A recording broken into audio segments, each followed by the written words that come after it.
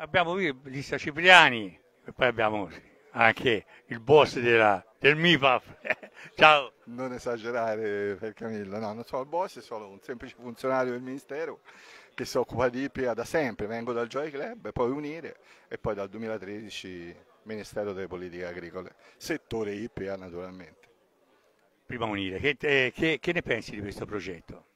Ma è un progetto bellissimo, fra l'altro è un progetto che eh, io mi misi in contatto, anzi Giuseppe, è, è, è, giusto dire, si mise in contatto con me eh, più di due anni fa, eh, io buttai giù un progettino di fattibilità per questo progettino qui e, e, poi nasce la mia conoscenza col presidente di Final Farlon, Maurizio Rosellini, da una telefonata che, che, che, che Giuseppe, mise in contatto Giuseppe una volta che io ero nella sua scuderia in Francia e al telefono parlai con Maurizio Rosellini, da lì è partita questa conoscenza e ho cercato di dare un supporto a questa organizzazione che è veramente gestita bene e, e stiamo cercando di portare un pochino uh, in alto il mondo del cavallo che è stato un pochino depauperato un po' da anche da un'incompetenza un po' nella gestione, nel, mi duole dirlo, ma è così.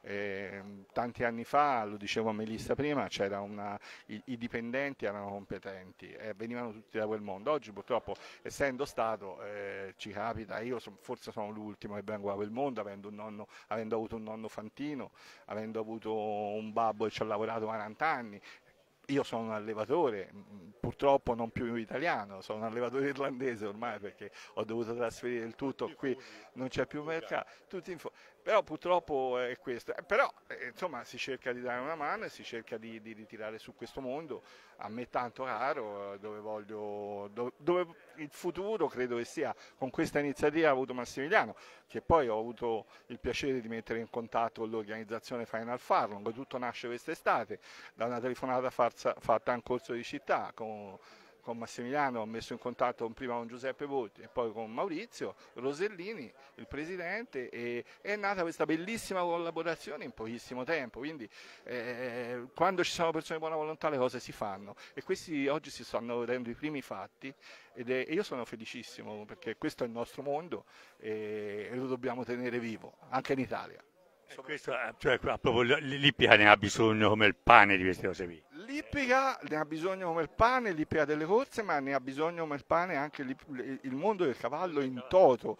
L'Ippica più più di tutti, perché in questo momento c'è una crisi pazzesca. Eh, io posso dare dei dati, noi purtroppo alleviamo 450 cavalli puro sangue l'anno, dove in altri posti del mondo dove io parlo di dove l'ippica è, è, è paesi piamente civili, io dico sempre questo, no? che sono l'Irlanda, l'Inghilterra, la Francia, dove si allevano migliaia di cavalli puro sangue, dove c'è un mercato enorme, dove è un'economia, dove si, si danno posti di lavoro, dove la maggior parte della gente lavora in questo mondo in maniera professionale e, e, e, di altissimo spessore.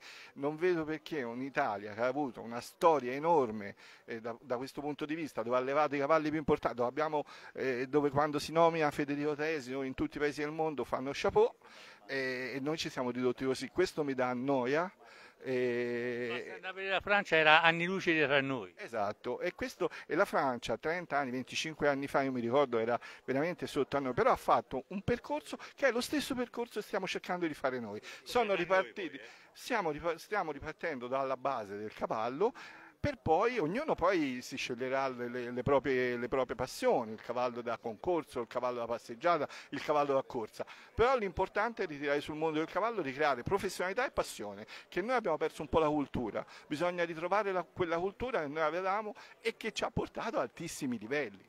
E questo è quello che questa, questo, eh, questo progetto hai in mente di fare in qualche maniera, no? Eh.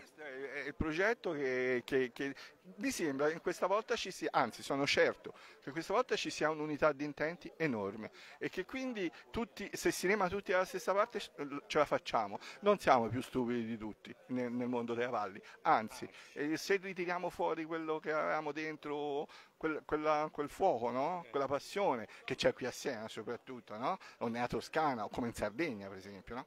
Ritiriamoli fuori lì. Se si riuscisse a fare una scuola di questo genere in ogni istituto agrario, uno, almeno uno per ogni regione, sarebbe un successo enorme. E, e, e crea... Siamo d'accordo, in Sardegna stanno provando a, fare, a rifare la, la scuola degli allievi fantini chiude proprio il 30, quindi chi è intenzionato chiami, ci ci sono tutti i numeri di chi chiamare per iscriversi a questo corso di allievi infantili, anche ragazzini, anche per i pony, tra l'altro. E allora eh, ti ringrazio.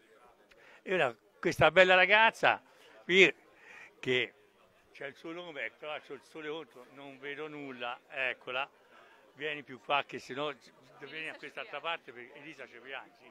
Melissa ha scritto, scusa, ti metto di basso, se no il sole non mi faceva, non faceva vedere.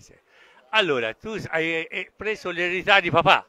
Io mi presento, sono Melissa Cipriani, erede di, della scuderia Handicap con Loris Cipriani, mio padre. Ho preso le redini dell'azienda da un anno e essendo cresciuta in allevamento eh, proseguo. No, no, ti mangiavo più dietro. Eh. Io penso che insomma, chi mi ha preceduto ha detto praticamente tutto.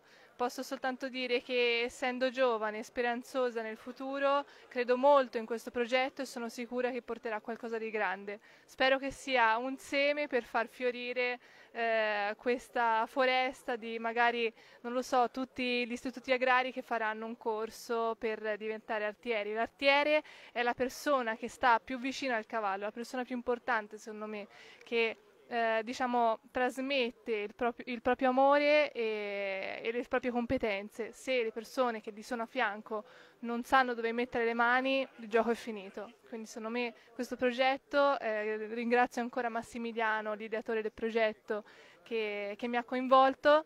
Noi saremo la struttura di riferimento e, e speriamo che porti a grandi, belle cose.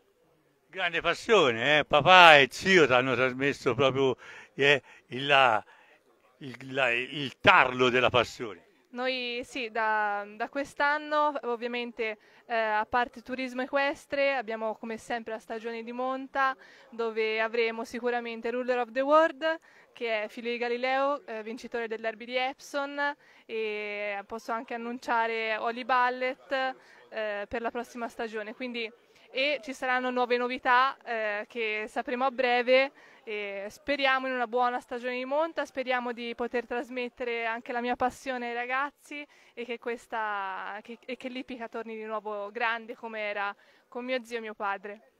Io fra l'altro sono stato lì a Domapoliri. Ecco, perfetto. Sapevi? Ah, siamo in due. eh, non lo sapevi, eh? Non lo sapevo, eh. Hai visto? Sempre grande, perfetto.